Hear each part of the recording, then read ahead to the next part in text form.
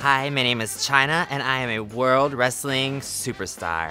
I'm most famous for these guns and my sleeper holds. I have way too much protein in my diet, and I actually have a large collection of American Girl dolls. Wow, you're looking good. Do you have any workout tips for me? Eating all the beef roux.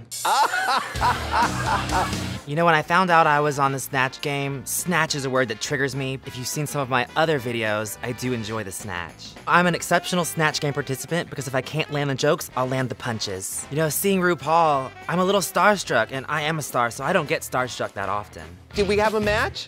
I said testosterone. Testosterone. I ate a whole pan. Yeah. Got my got my est- estrogen levels a little low. Oh, So okay. Monday Night Raw is not the only thing that I like Raw. If you have a problem with me, I'll see you Monday night.